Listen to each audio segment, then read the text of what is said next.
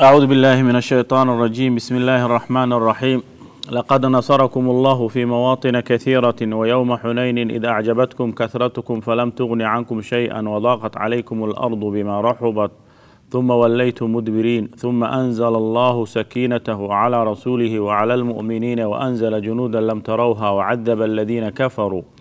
وذلك جزاء الكافرين ثم يتوب الله من بعد ذلك على من يشاء والله غفور رحيم waxaanu soo haynay tafsiirkii suuratu tawba marka waxaanu soo gaarnay qisadii nebiga calayhi salaatu wasalaam iyo ghaswatu xunayn iyo saxaabada wixii ghaswada kala kulmay waxaanu soo sheegnay maalinka horeeto ghaswatu xunayn inay dhacday sanadkii fatxu maka uu dhacay oo sanadkii sideedaad ahaa sannadkii fatxu maka markii nebiga calayhi salatu wasalaam uu maka furtay kadib nebiga calayhi salaatu wasalaam wuxuu maqlay qabaa'ilkii deganaa meesha la yidhaahdo daa'if inay is aruursanayaan. Nimankii la odhan jiray thaqiif iyo hawaasin iyo inay is aruursanayaan oo ay rabaan inay nebiga calayhi salatu wasalaam dagaal ku soo qaadaan. Nebiga calayhi salatu wasalaam bishii ramadaan ayay ahayd fatxu maka toddoba iyo tobankii ramadaan sideed iyo tobankii ramadaan waxaa marka bil ka bacdi bishii shawaal ayuu nebiga calayhi salatu wasalaam saxaabadiisii iyo dadkii soo muslimay oo maka iyo agaarkeeda ahaa asduu kaxaystay buu aaday xaggaas. Marka meesha la yidhahdo xunayn waa waadi laba buurood dhexdooda ku yaalla meeshaasay reer thaqiif isku diyaariyeen. Ninkii odaygii u talinayay nin tala xun buu ahaa oo reerkii oo dhan iyo caruurtii iyo haweenkii iyo xoolihii o dhan buu soo kaxeeyey si aan qofna u baqin asagu waxay ka ahayd dadku xoolahoodii iyo caruurtooday difaacanayaan laakiinse kumuusan talagelin qofku hadduu mar jabo ciidanku inaan gadaal la soo eegaynin. Ciidankii iyo caruurtii iyo xoolihii iyo waxarihii iyo kulli iyo wax walba maqashii uu soo kaxiyey waxba kama soo tegin. Meeshaasay marka waadigaasay galeen waqti aroor horeeto oo salaad subax markii la tukaday ka bacdi weli adduunka mugdi yahay saxaabadii iyo nebiga alayh salam ayagoo iska socda bay ku bilaabeen. Marka xoogaa waxaa dhacay jab. Dad lagu qiyaasay boqol qof ilaa laba boqol oo qof baa nebiga ku haray calayhi salatu slam inti kale way baxsadeen ciidankuna ciidanka ugu badnaa oo nebiga calayhi salatu salaam dagaal la galo ahaa ilaa labayo toban kun baa lagu qiyaasaa. Ciidanka ugu badnaa walidaalika waxaa la waxaa laga wariyaa kutubta siyarku ay wariyaan inay yidhaahdeen markii ay soo socdeen lan nuqlaba alyowma min qila maanta yaraanna looga adkaan maayo. Marka xoogaa waxaad moodaa inuu yaro galay uruur xoogaa tiradii ay ictimaadeen. Saxaabadu marka horeeto dagaalada ictimaadkeeda wuxuu ahaa ilaahi subxaana wa nasrigiisa. Markay taasi ku dhacday ilaahi subxaana wa tacaala tusay inaysa quwaddu keliya dadka iyo tiro badnidooda aan lagu guulaysan guushu ay ku timaado ilaahi subxaana wa gargaarkiisa. Kadib ilaahi subxaana wa dib ayuu nasrigii ugu soo dejiyey dib bay u soo noqdeen. Wataan soo sheegnay nebiga alay sala slam cabaas oo hayey baqashiisii ayaa qayliyey oo cod weynaa uu yidhi nabiga alayh sala slam u yeer asagana intuu hor ciidankii hor istaagay buu yidhi aniga ana nabiyu laa kadib ana bnu cabdulmutalib kamana uusa baqanin asagoo weliba baqal saaran oon faras saarnayn. Geesinimada nabiga alayh salatu slam bay kutusaysa maxaa baqashu sida faraskoo kale uma dhaqso badna. Xagga dagaalka waa culus tahay. Taas marka saxaabadii inuu cabaas u yeeray magacyadoodii iyo suwarkii ay xifdisanaayeen iyo asxaabu shajara uu ka bilaabay dib bay u soo noqdeen. Ninkaa la yidhaahdo marka malik ibnu cawf annadri oo odayga ahaa reerka u talinayay rag badan baa marka hore kala taliyay inuu saa yeelin. Laakiin arrinkaas wuu ku jabay marka jabkaas xooga badan uu soo gaaray ayuu ilaahi subxaana wa tacaala iyo saxaabada marka horeeto jabkii ku dhacay buu ilahi nooga warramaya ilahi wuxuu yihi laqad nasarakum allahu ilaahay uu idiin gargaaray. Fii mawaatina kathiira dagaalo badan. Dagaalo badanood gasheenoo hore buu ilaahi subxaana wa tacaala idiin gargaaray. Wa yowma xunaynin maalintii xunayn meesha la yidhaahdo goobtaasne id goortii acjabadkum ay idin cajabisay kahratukum tiradiinni. Falam tugni idinkama aysan deeqin cankum idinka xaggiina shay-an waxba idinkama aysan deeqin tiradii. Wadaaqad waa idinku ciriiriyowday. Calaykum idinka alardu dushiina dhulkiibaa ku ciriiriyoobay. Bimaa raxubat isagoo dhul waasic ahaabuu idinku ciriiriyoobay. Oo meel aad gashaan baad weydeen. Uma wallaytum waad jeesateen. Mudbiriina gadaal baad jeediseenoo waad baxsateen uma markaa ka bacdi anzala allaahu ilaahay wuu soo dejiyey sakiinatahu ilaahay gargaarkiisii iyo nasrigiisii buu idinku soo dejiyey. Wuxuu ku soo dejiyey markuu ugu horreysay calaa rasuulihi rasuulkiisuu ku soo dejiyey. Iyo wa cala almu'miniina mu'miniintii rasuulka la socday. Waanzala ilaahi wuxuu soo dejiyey junuudan ciidan oo lam tarawha inay arkaynin. Oo malaa'igtii ah wacadaba ilaahi subxaana wa tacaala wuu cadaabay. Aladiina kuwii kafaruu gaaloobay waa kuwii meesha goobta lagu laayay oo ilaahi subxaana wa tacaala gacantii saxaabadiisi iyo malaa'igtu ku cadaabay saxaabadii nabiga alayh sala slam iyo malaa'igtu ku cadaabay. Wadaalika arrinkaas in la cadaabane jazaau lkaafiriina gaalada abaalmarkooda weeye oo iyaga ayaa maqli waaye warkii oo meel fariisan waaye. Uma markaa kadib yatuubu allahu ilaahi wuu ka toobad aqbalayaa gaaladii weeye min bacdi daalika arrinkaas ka wuu ka toobad aqbalayaa calaa man yashaau kii uu doono ka mid oo intoodii badnayd sidaanu sheegnay qisada ku sheegnay way soo rumeeyeen. Markii nabiga alayh salatu salaam uu ka tegey oo ay jabeen oo carareen xoolihii iyo haweenkii iyo caruurtiina la kaxaystay oo nabiga alay slam saxaabadii ay haniimo u noqotay bay waxay degeen meel yidhaha jucraana oo u dhexaysa xunayn iyo maka marka jucraana markuu nebiga degay ayay dib u noqdeen iyagoo nabiga alayh slat slam muslimiin ay u yimaadeen. Nebiga marka wuxuu kala doorsiiyey in dadkooda iyo carruurtooda loo celiyo iyo in xoolahooda loo celiyo. Dadkooda iyo carruurtoodii bay doorteen waa loo celiyey dadkoodi carruurt maadaama ay soo islaameen xoolihiina waa la qeybiyey maadaama ay haniimo ahaayeen. Qaar ayaga ka mid sida odaygaas nadar watay oo madaxda u ahaayo nadar ibnu xaaris oo kaleeto xoolo badan baa la siiyey nebiga alayh slat slam uu siiyey. Marka ilahi wuxuu leey uma yatuubu allahu ilahi uu ka toobad aqbalayaa min bacdi dalika intaas kadib calaa man yashaau yani qoladii uu doono oo gaaladii ka mida dagaalka idinkula jirtay. Wallahu ilaahay kafuurun alla dembi dhaaf badan weeye raxiimun naxariis badan weeye marka nebiga alayh salatu wasalaam ilaahay gargaarkaas markuu siiyey oo saxaabadii laakiin imtixaanka hore ay arkeen ilaahay subxana wa tacaala xoolo aan caadad aada u badan oo lagu qiyaasay yani geela ma keliya lagu qiyaasay tobanaanku inuu ka badnaa ayaa gacantooda soo galay. Nebiga calayh salat slam marka wuu qeybiyey oo wuxuu u qeybiyey dadkii soo muslimay gaar ahaan dadkii tulaqada lagu magacaabay raggii odayaasha waaweynaa oo maka markuu nebiga alayh sala fa antum tulaqaa yidhi soo islaamay. Raggaasuu aad iyo aad nebiga alayh salatu wasalaam xoolihii u siiyey xoolo badan ayaa raggaa la siiyey. Taasoo keentay sidaanu soo sheegnay saxaabada gaar ahaan ansaar inay xoogaa arrintaas wax yar qalbigooda uu galay. Oo is yidhahdeen nebiga alayh salam markuu soo noqday oo reerkiisii uu u yimid ayuu xoogaa waana is yidhahdeen amuu maka ku haraa? Haddana xoolihii badna inaan ayaga wax laga siiy nebigu ma uusa siin saxaabadii hore la timid wuxuu siiyey xoolaha inta badan raggii maka agteeda ku soo islaamay iyo raggan laftigooda xoolaha laga soo qaaday qaar ka khudbadii dheereed nebiga calayh salat slam ayuu u ujeediyey intuu gooni ula kulmay nimankii la odhan jiray ansaar. Oo nebiga calayh salat slam uu ku yidhi yani alam aatiikum dulaalan fahadaakum allahu bi? Ay yidhaahdeen nacam oo hadal khudbo aad iyo aad u dheer oo intay marka dambe ay wada ilmeeyeen uu yihi nabiga alayh salat slam wannaasu dithaar alansaaru shicaar. Wannaasu shicaar walansaaru dithaar. Dadka kale oo dhan dharka kor laga gashto oo kaleeta i yihiin laakiin idinku dharka hoosta laga gashaad ii tihiin. Yani idinka meeshaad iga joogtaan. Meeshaad iga joogtaan wuxuu yidhi ma ka raali noqonaysaan dadkoo dhan inay geel iyo ari iyo la noqdaan? Idinkuna nabiga alayh salat slam la noqotaan. Markaasay ay yidhahdeen raalli baan nahay ina nabiga alayh salat slam aan kula noqono madiino. Ayagoo xoogaa marka hore islaam amuu maka joogaa oo nabiga alayh slat slam uu cadeeyey hijradii inaanan qofne hijrooda aysan u banaanayn inuu maka dib ugu soo noqdo oo maka dego inuu meeshiisi jooga mooye. Taas marka aad bay u raaligelisay oo ansaartii arrinkaas way ku raali noqdeen. Alxamdulilah marka waa nabiga alayh salat slam ayay la noqdeen.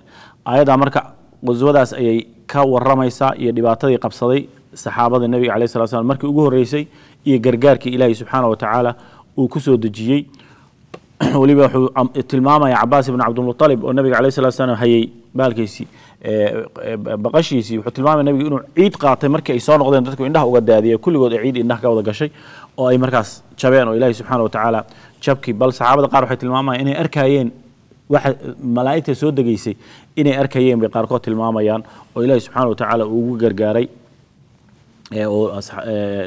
dagaalkaas kadib ilaahi subxaana wa tacaala halkan wuxuu marka nooga sii warramayaa mushrikiinta iyo arrin masale aanu ka soo warranay oo masalada ku saabsan masjidka in laga xarimay oo suuradda ay mamnuucday inay yimaadaan dad aan muslimiin ahayn soo xajiyaan. Sababtii loo mamnuucay oo ahayd inay nebiga alayh salat slam uu maka furtay oo daar islaam ay noqotay iyo inaysan u banaanayn beytka ilaahi subxaana wa tacaala qof aan muslim ahayn inuu yimaado.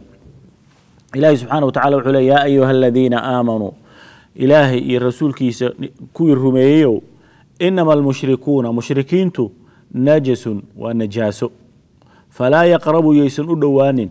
Almasjid alxaraama masjidkii masjid xaraamka ahaa ee maka bacda caamihim hada sanadkan wixii ka dambeeya yaysan u soo dhowaanin. Marka taas ilaahay subxana wa tacala wuxuu uga xarimay inay soo galaan masjidka. Masjid alxaraam marka la yidhaahdo maka kulaha waa xaram walidaalika maka kulaha uma banaano inay galaan. Masaladaas culimmadu horta waxay isku khilaafeen. Najaasada la sheegaya maxay tahay? Nabiga alay slat slam xadiis saxiix wuxuu ku yidhi almu'min laa yanjus. Nin saxaabiya intuu u yimid buu yidhi maxaad hadaayata ii salaami weyde markaasuu yidhi waxaan ahaa nijaaso oo jinaabuu qabay. Markaasuu yidhi almu'min subxana allah almu'min laa yanjus. Marka nijaasada tani maxay tahay? Nijaaso xisiba mase waa nijaaso macnawiya jumhuurka culammada muslimiinta waxay qabaan nijaasadan inay tahay nijaaso macnawiya aysan ahayn xisi maxaa yeelay gaalada waxaa bannaan weelashooda in cuntada lagu cuno. Cuntadooda in la cuno ay qalaan neefka ay qalaan in la cuno. Waxaasoo dhan la baneeyey weliba ahl kitaabka. Gaaloo dhan maaha. Najaasadu marka najaaso xisi hadday tahay lama baneeyan waxaas. Taas marka waxay culammadu jumhuur ka qaateen nijaasadu waa nijaaso macnawiya waa nijaaso ku tacalluqda muctaqadkooda. Waxay ictiqaadsan waxay aaminsan yihiin kaasaa nijaase aaminaadda ilahay keyrkiis aaminsan yihiin in ilahay laga wadaajiyo weeye laakiin jirkooda يو يعني كركوده ماها مساجد وي سو غلي كره النبي عليه الصلاه والسلام مساجد كيس مدينه ضد مشركين ايو كحبسي أو مدد دغنا هذه مركه نجاسه وتا نجاسه حسي وجرك الا ما سو غلي مساجد الله سبحانه وتعالى تاس مركه وا جمهور العلماء وقولك صحيح أو جمهور العلماء اي كو تغين تن لبعض مساجد كما سو غلي كران ما سو غلي كران تو علماء اسكو خلافسين المسلمين لكن وحي بدينهم مكه inay dana ka fushan karaan culimo qabta oo mari karaan oo imaan karaan xagga maka marka la yidhaahdo iyo culimo qabta inay soo geli karin bilmara aysan soo geli karin. Bay culimmadu muslimiinta u qaybsameen. Yani inay muruur hadday tahay imaam shaafici oo kale wuu baneeyay hadday maraayaan oo dan ka ama tijaaro ama dhex maraayaan waa loo ogolyahay. Laakiin madaahibta culimmada sida imaam maalik oo kaleeto waa arrintaas waa ay diideen oo waxay yidhahdeen ma soo geli masaajidkana saasuu la yahay. Masaajidka caadiga ma soo geli karaan iyo ma soo geli karaan qowlkaasoo kaleetu la mid yahay inay soo geli karaan lixaaja bay u badan yihiin culummada hadday xaajo dan jirto oo ama ay wax dhegaysanayaan ama ay dan ka qabanayaan ama ay ka shaqaynayan waxaaso dhan way soo geli karaan. Lakiin haddayse xaajo jirin inay soo geli karin ayay culummadu u badan yihiin. Marka ilaahi subxana watacala wuxuu yidhi inama almushrikuuna mushrikiinta mushrikiin marka layidhi marka maaha kuwa shirkigooda uu yahay غayr alkitaabiyi mushrikiin marka aayadda mucabira waxaa weye ljamiici وحي أن إلهي سبحانه وتعالى رميسي. كتاب هاي سامي هاي معناها وكدة بغمية مركوا نجس النجاسوي فلا يقرب المسجد الحرام. يسو مسجد كحرام ها أسر دوان ومكاها بعد عامهم هذا. وإن خفتم. مركا عام كاسبيح كده نبي عليه الصلاة والسلام. أبو بكر بودري. هذا عالي بوكدة دري سنة كساقالات سو النبي عليه الصلاة والسلام حجك أتقو محايا لو يسو حجينا ينولي وإن لا شيء قوي. إذا عاد مجرين لقى شيء وإن ماشي لو قطعه لو شيء مركا كي كوحي sanadkaas ayuu nabiga alay sala slam xajkii ku xigay ayuu u diray. Xajkii sannadkii sagaalaad cali iyo abubakar buu iska daba diray marka si ay ugu ugu sheegaan. Abubakar marka iyo cali waxa loo diray waxay ahayd aayadda calina inuu ku akhriyo suurata towba gaalada meelaha ay joogaan oo dhan intuuta ku dul akhriyo. Ilan way fahmayaane. Loona sheego sanadkan wixii ka dambeeyay qof mushriga ma soo xajin karo. Qof qaawanna ma soo xajin karo. Leanna qaawanaan baa lagu xajin jiray waagi hore. Dadka qaar dharka ay haystaan ay xaaraan yihiin oo og inay tuuga iyo soo dhaceen oo dadka soo waxayn intay iska dhigaan ba iyagoo qaawan xajin jireen. Marka qof qaawanna ma soo xajin karo. Xataa haweenka waxaa laga yaabaa waxaa jira waxyaala ay sameeyeen nimankii dadkii ahlmaka ahaa oo diinta aan ka diin aan ahayn oo ay yidhaahdeen dharka bannaanka lagala yimaado qaarkood inaan lagu xajin karin. Marka haweenka oo kaleeto ama dadka daysa dhar gudaha ka iibsan karin ama dharkooda uusan ahaynba horeeto way iska dhigi jireen. Haweenta waxaa laga yaabaa iyadoo iska salaqsanaysa inay dawaafto marka waxay dhihi jireen alyawma yabduu bacdahu aw kullahu famaa badaa falaa uxiluhu jirkayga qayr baa qayb baa laga yaaba inay muuqato ama uu wada muuqan doonaa maanta jirkayga waad arki doonta leanna waxba ma hayso dhar. Intii banaanaata idinma xalaalin iga sii jeesta idinka idinta allah marka nabiga alayh salatu salaam meel dad qaqaawan ay soo xajinayaan inuu soo xajiyo alayh salatu salaam u diiday. Marka wuxuu u diray saxaabadaas si ay ugu sheegaan. Marka wixii sanadkaas ka dambeeyey waa laga mamnuucay raggii dadkii baa marka waxay yidhahdeen maka waxay ahayd xajku ma ahayn meel cibaado keliya loo tago waxyaalo badan baa iswatay oo ishuwanaa waxaa ka mid ah beecmushtar meel walba carabta ka timaada qoloba waxbay keeni jirtay waxaasaa la isdhaafsan jiray dad baa yidhahda haddii la kala tago dadkii la kala xiro xaggee wax laga helaya ilaahay wuxuu yidhi wain khiftum haddaad ka baqdeen caylatan haddaad ka baqdeen inaad xoolo meeshii la waayo oo lagu cayrtoobo dadka ay wax waayaan hadday taas idin soo gashay fa sawfa yugniikum allahu ilaahay baa idinka deeqaya min fadlihi ilaahay ziyaadadiisa asaa idinku deeqi doono insha hadduu doono.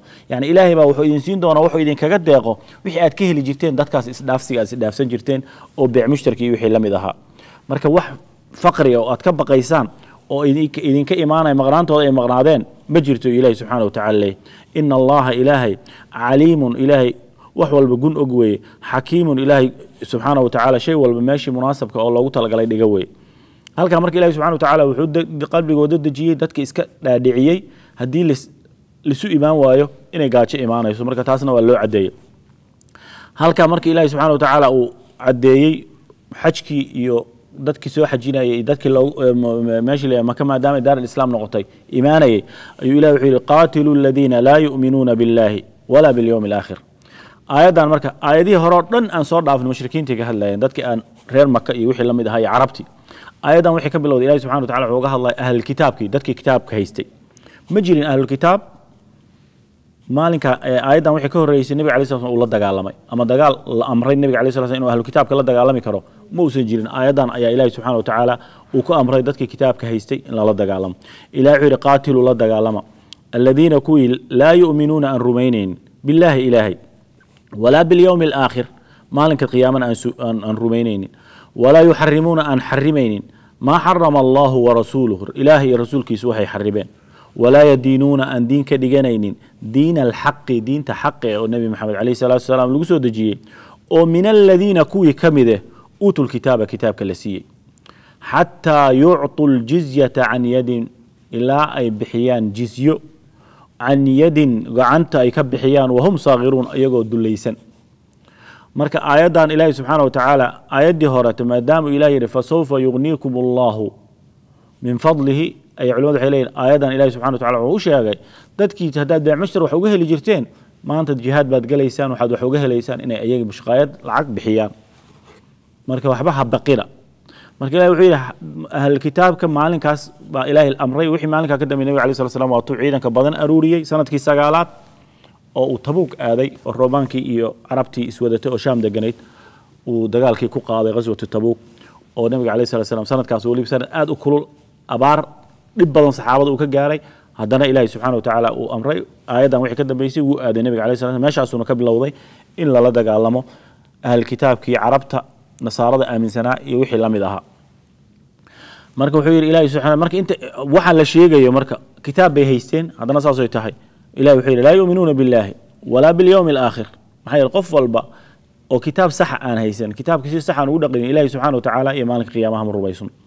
Walaa yuxarimuuna maa xarama allahu wixii ilaahay uu xarimayna ma xarimayaan oo iyaga sida noo imaan doonta aayadaha dambe aan ku sheegi doono shuyuukhdooda waxay xarimaan bay xarimi jireen waxay shuyuukhdooda xalaalayaan oo ay qaadan jireen مرك إلهي وحو حرمي أو كتابك كقرنا ويكلي حنجيني ولا يدينون دين الحق دين تصحد هيد أو الهي اسودجي نبي محمد كسودجي أو الهي وير ان الدين عند الله الاسلام تاسنا ما هيسا مرك الهي بحو يري أو كواس كميد كو أهل الكتاب يعني أهل الكتاب كي وحا سو دن ان رميسن أهل كتابنا كتابنا شيغانيا الا جزيه بخيان جزيه ما هيتاي مرك جزيه ما هيتاي دوله الاسلام كماشي مرك اي قبسته دولكا دادكا كنو لبا أو قيبسميا waagii hore ma jiri jirin ciidan intii la qoro xero ku xaraysan oo la tababaro oo hubkiisa iyo mishaarkiisa iyo cuntadiisa loo diyaariyo nin walba qorigiisa asaa la imaan jiray isaga ayaa wuxuu ku dagaalami jiray diin iyo inuu islaam iyo dacwo fidiyo marka hubkiisa iyo wixiisa asaa la imaan jiray nafta iyo hubkaba asaa watay dadka marka aan islaamka ahayn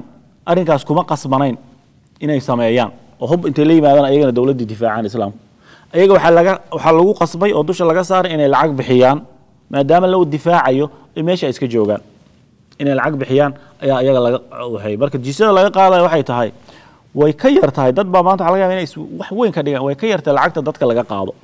Lacagta canshuurtoo dadka laga qaado way ka yartahay. Jisyada qofka dhan laga qaadayo. Hadda waxaa laga yaabaa dowladaha horumara inay yidhaahdaan jisyadu wax xun bay ahayd dad baa la duleysanayo. Ayagana qofka ay ka qaadaan boqolaal kun oo qofkii bini aadankaa laga qaadayo oo la leeyahay adigu haddaad intaasaa lagaa qaada haddays caruur ku joogan intaasaa lagaa cishanaya sanadkii taas ma aha jisyadu waxaas dhan way ka sahlan tahay qofkan xaqaba waa la difaacay waxa laga qaadayana waxay tahay waa difaaciisii waddankuu ku nool yahay bal iska daaya dowladda islaamka waxay samaysay markay duqoobaan hadday fuqaro noqdaan lacag baa la siin jiray cumar ibn khataab wuxuu dhihi jiray markay yaraay xoogga lahaayeen lacag baan ka qaadi jirnay markay duqoobeenna saan kuma kuma dhowranayno lacag baa la siin jiray marka sida loo tashwiihiyey oo mustashriqiinta iyo dadka islaamka wax ka qoray gaalada ay u tashwiihiyeen jizyadu macnaheeda saas maaha marka waxaa leeyahy waa hum saakiruun waxayna tusaysaa dullinimada qofka kan wuu diiday ilaahay subxaana wa tacaala inuu ilaahay isku dhiibo oo ilaahay caabudo oo diintiisi qaato marka inuu bini aadan uu hoos yimaado oo bini aadan uu gacanta ugu hoorsado oo wixii uu soo shaqeeya la yidhahdo waxaas waa inaa ka dhiibtaa ayaa dusha laga saaraya taas marka jizyadu macnaheeda saas weeye marka ilaahay subxana wa tacala halkan wuxuu noogu sheegay masjidkiina in laga fogeeyo oo aysan soo gelin in ahlkitaabkiina la weeraro oo dagaal dib loogu qaado oo ahlkitaabkii aysan ahaanin sidii ay waagi horeeta loo kala joogay oo dagaal in lagu qaado ayuu ilahi subxana wa tacala aayadan ku caddeeyey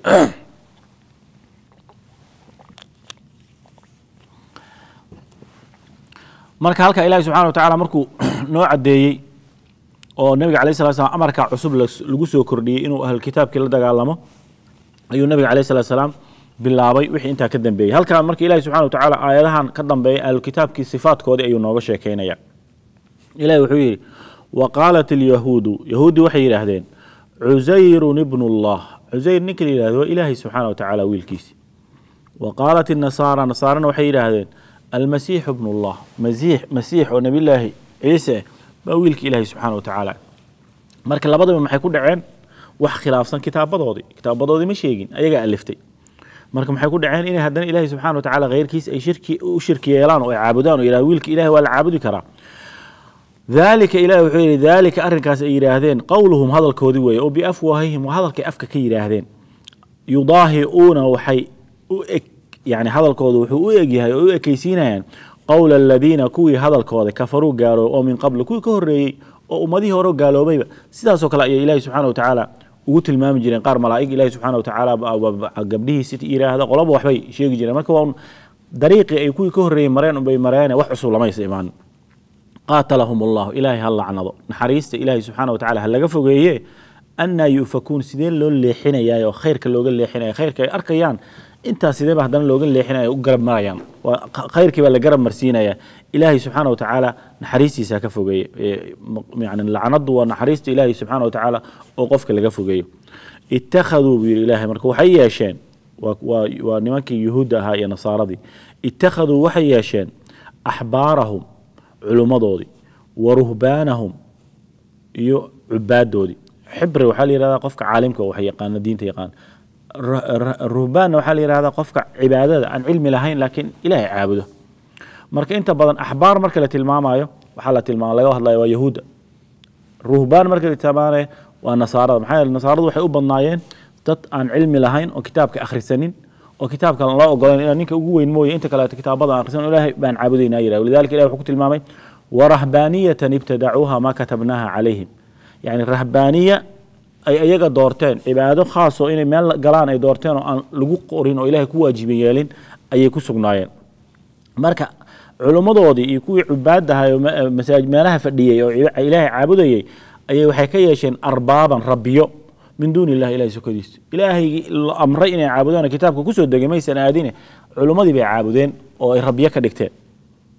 Waalmasiixa bni maryam ciise ibni maryam oo nebiyullaahi ciisane rabbi bay ka dhigteen oo way caabudeen wamaa umiruu lamana amrin ilaa liyacbuduu inay caabudaan mooye ilaahan waaxidan ilaahay waaxide oo macbuudka xaqe inay caabudaan unbaa la amray ee lama amrin waxa kale ay iska samaysteen laa ilaaha ilah xaq lagu caabudo ma jiro ilaa huwa ilaahay mooye subxaanahu ilaahay waa ka nasahan yahay camaa yushrikuuna waxa la wadaajinayaan marka haddiiba kitaab lagu soo dejiyey oo ay ahlkitaab yihiin هذا ما حل هلكن لقط المام إن إله غير كيس عابد أيان مركو حيكون عين معناها شركي وتان هذا صوش يجني آيدي هرت إيت المام يسي أو المشركون النجس مركل يلا اسم المشرك مركل يلا يعم وعام وحول بو إله سبحانه وتعالى أن دين تيسا يسنين محايا لو ويلي مركا نبي عليه الصلاة والسلام صحابة ديسا قاربا مركي سو مسلمين أي تيسا سو مسلمين كهر قالاها عربتا عربتا الدكتا لنا عوقوي الجزيرة العربية وهي أهاين إلى الشام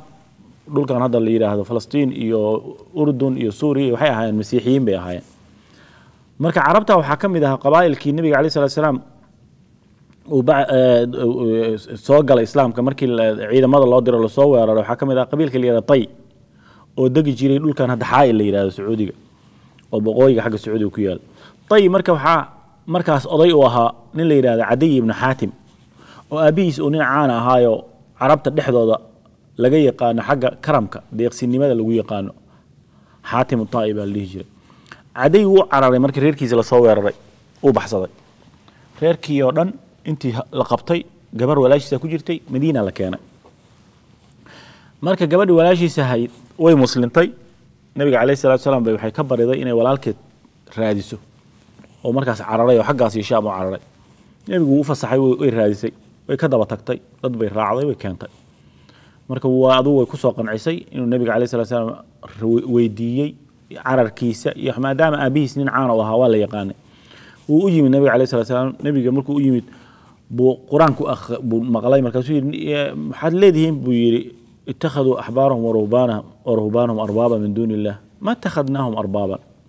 Kamaanan dhiganin arbaab idinkana saasaadna leedihin nabiga calayhi salatu salaam wuxuu yidhi intay wax idiin xalaaleeyaan miyaad soo miyna xalaalaysan jirin أن كتابك كقرنين هذا يي وح كتابك وحلاله أنت إذا كحرمها سومينا حرمي جيلين ها. دي عبادة فتلك عبادتهم إياه عبادة اللي دين شيء جيو إن العابدين وإنتاس. التحليل والتحريم إن وحلا حرمه إن وحلا حلاله إلهي سبحانه وتعالى كلي حق له. مركا قفكي إسكو دايا إنو دادك وحو حلاليه وحنا كحرمه قفكا سوحو كدعيا إنو شاكتي إلى هنمو دادكو هداي كرو مايستان أو كرا عانه. Dadku way caabudeen qofkaas. Oo ilaahi subxana wa tacaala kheyrkiis bay caabudeen. Sidaa daraaddeed ayuu markuu u caddeeyey nebiga calayhi salaatu salaam cadiy ibni xaatim saliib weynna wuu qabay oo dee halka ugu xirnaa mucatab baa u xirnaay oo markuu nebiga calayhi salatu salaam u caddeeyey. Oo weliba uu caddeeyey qaabkii ay ay u caabudi jireen iyo waxyaalaha ay qaybin jireen asagu de nin wuxuu ahaa reerkii dhan ugu sarreeya waxaasoo dhan si fiican buu u garanaya ayuu nabiga calayhi salatu salaam markaas wuxuu u sheegay inuu yani wuxuu yidhi ilaahi subxaana watacaala ilaahan ahayn baa jira soo ma ogid ilaahi subxaana watacaala ma ilaah kale inuusu jirin markaasuu yidhi nacam. Markaasuu ugu yeeray inuu islaamo. Meeshaasuu islaamka ku soo galay oo ilaahi subxaana watacaala saxaabadii nebiga calayhi salatu salaam ayuu ka mid noqday. Marka aayaddaasna waxay caddaynaysaa tafsiirka aayaddii horeeto oo mushrikiinta la sheegaya noocoodu inuu yahay shay caam oo dhan ka wada dhexeeya ayay aayaddaasna caddaynaysaa. Halka ilaahi subxaana wa tacaala marka wuxuu leeyahay mushrikiintii iyo gaaladii oo dhan isagoo ka hadlaya yuriiduuna waxay doonayaan an yudfi'uu nuura allahi ilaahi subxaana wa tacaala nuurkiisa oo diinta ilaahay. Nebiga calayhi salatu slam loo soo dhiibay bay doonayaan inay demiyaan. Biafwaahihim afkooda oo dacaayad iyo qaylo iyo cay iyo aflagaado iyo waxaasay wadaano inay diinta ilaahay subxaana wa tacaala kaga hortagaan bay doonayaan.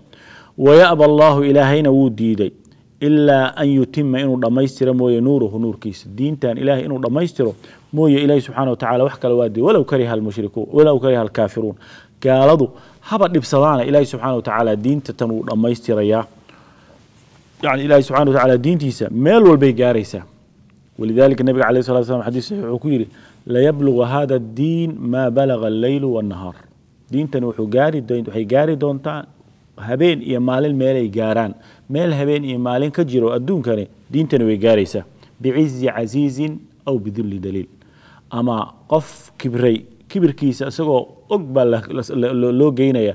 Ama qof la duleeyey oo dulligiisii iyo aqbalay ayaa marka diintanu meel walba way gaaraysaa. Walidaalika waxaa laga yaabaa qofka muslimka marxalada uu joogo inuu wax ku qiimeeyo. Diinta ilaahay subxana wa tacala maraaxil badan bay soo martay. Way kor bay u kici hoos bay u dhici waxaasoo dhan waxaa laga yaabaa maanta meesha aad ay muslimiinta marayeen meelo ka sii xun inay soo mareen. Oo badan haddaa taarikh dib ugu noqoysa arki doontaa.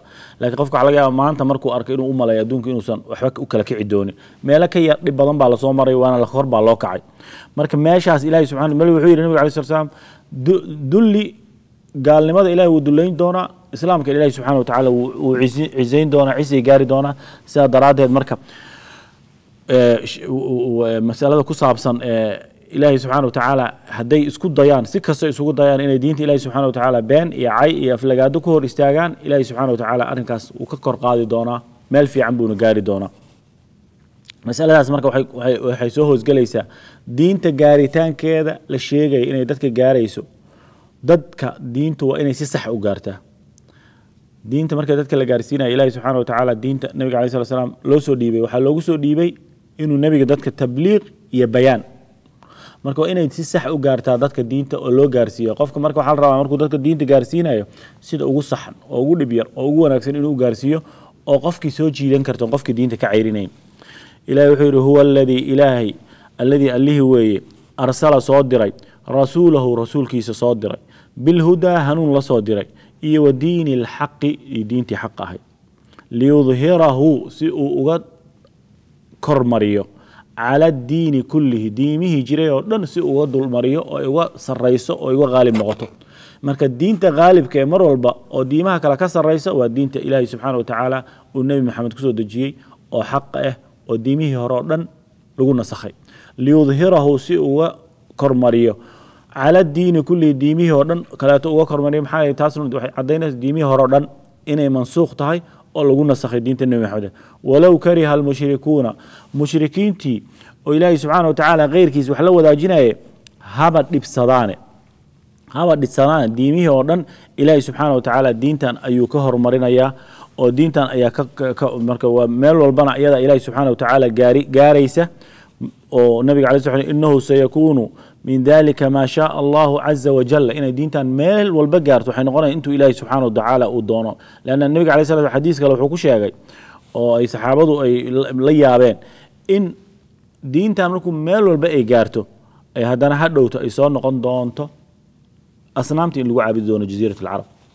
Jaziirat alcarab in asnaamta lagu caabudi doono ayuu nabiga alayh sala slam sheegay. Wuxuu yihi laa yadhabu alleylu waannahaar xataa tucbada allaata walcuza dib baa loogu soo noqon doonaa صحابته ويا أبي محيرا سا دين تان لوجسون غضنا ومرضا ما صحابه ويا رسول الله إن كنت لا أظن حين أنزل الله تعالى هو الذي أرسل رسوله بالهدى ودين الحق إلى قوله ولو كان المشرك المشركون إلى آيات سودجي أن ذلك تام يعني إني سيسون قنين بن أمري النبي وحيري إنه سيكون من ذلك ما شاء الله أنتم إلهي دون ساسي أهانس الدين تان أيضا قالب أهانس أو حلو كسر ثم يبعث الله ريحا طيبة فيتوفى كل من كان في قلبه مثقال حبة خردل من إيمان.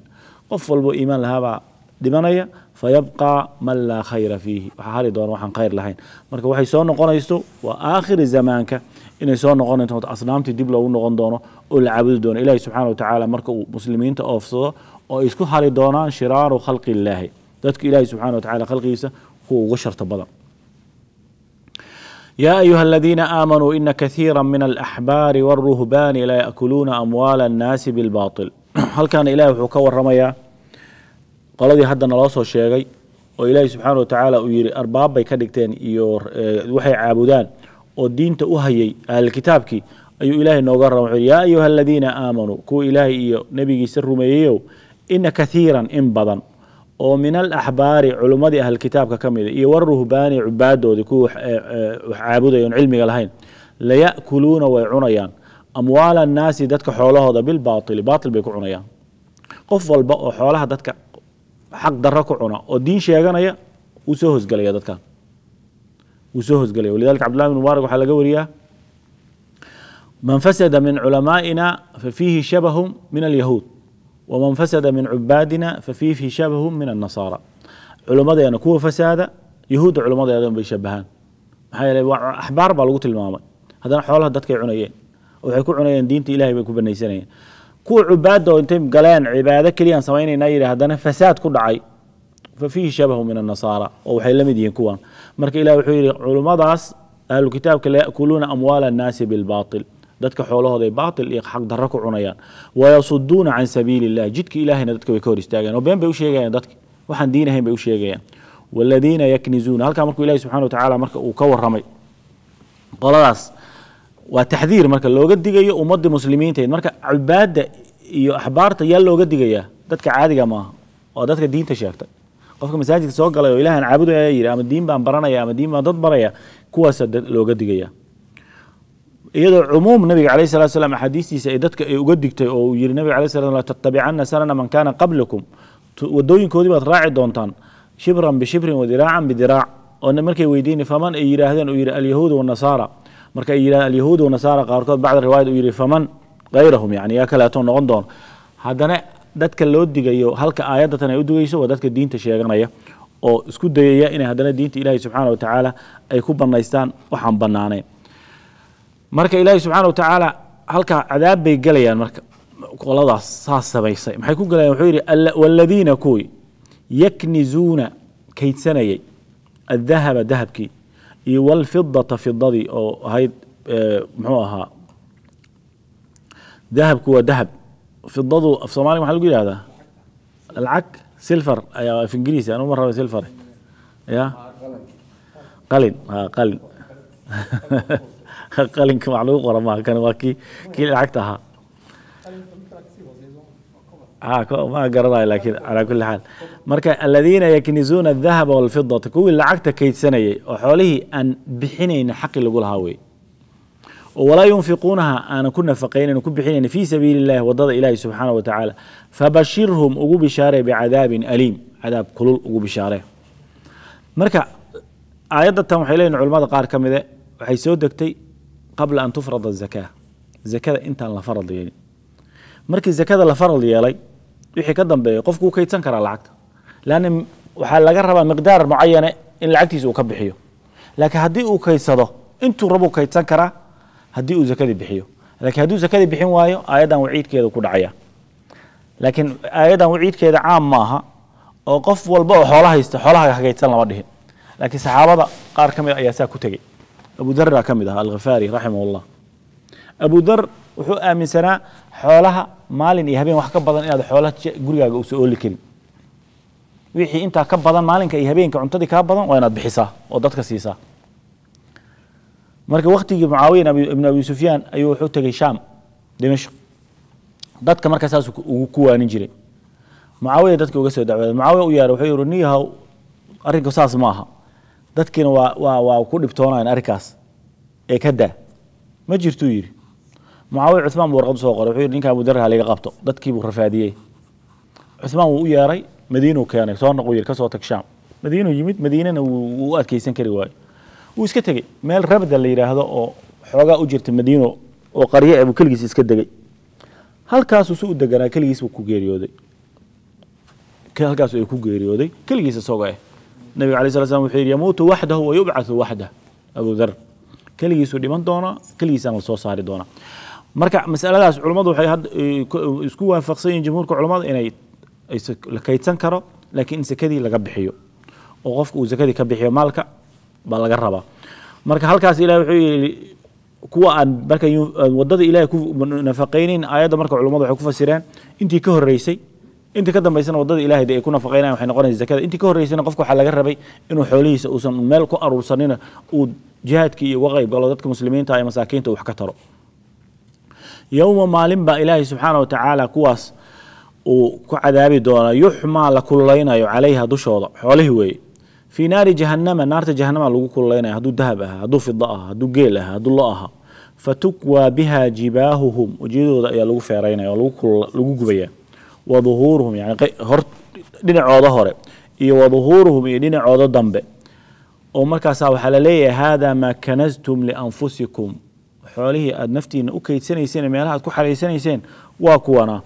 Faduuquu dhadhamiya maa shay ee kuntum aad ahaydeen taknisuuna kuwa keydsanaya marka qofka aan zakada ka bixin xoolihiisa xadiis dheer ayuu nabiga alay slam ku tilmaamay. Qofkii xoolaha lahaa geeli inta halkaa la soo dhigo baa geeliisii oo dhan baa loo keenaya maalinka cadaabta ku durdurinayaan oo burburinayaan oo lagu ciqaabaya. Qofkii xoolo kaleeta lahaa ama dahab ama fid waa lagu gubaya marka waxaasoo dhan waxay tahay waciidkaas waa qofka waxaa laga rabaa boqolkiiba laba iyo bar. Wax badan maaha. Waxaa laga yaabaa koobka kafeega maalinkii lagataa ka badan. Bishii markii la isku daro sanaadkii markuu soo wareegto hadduu kafee ku caba hadduu aruuriyo zakada laga waa qofka hadduu dee waa inuu haddana maal haysto sanad yaalay shuruud badan uu leeyahay. Laakiin dadkii bini aadanka ilaahay subxaana wa tacaala wuxuu ku ibtileeyey xooluhu ku- markay bataanba bukligii baa sii badanaya nafti. Oo inay bixiyaan ma raba laakiin markii la fiiriyo waxa laga rabo. Haddii aan la qasbaynin sidii dowladahan canshuurtooda aan la qasbaynin lagu daba jirin oo aan hadhowta lagaga daba imaanaynin oo hadhowta akoonkiisa la xiraynin qofkii ma raba inuu wax ilaahay daraadiis iyo diin iyo waxbaa ku amray la yidhaahdo allay ka tahay marka ilaahay subxaana wa tacaala khayrkaana waafajiyo. Wabilahi towfiiq sala allahu wasalam calaa sayidina maxamed wacala aalihi wasaxbi wasalam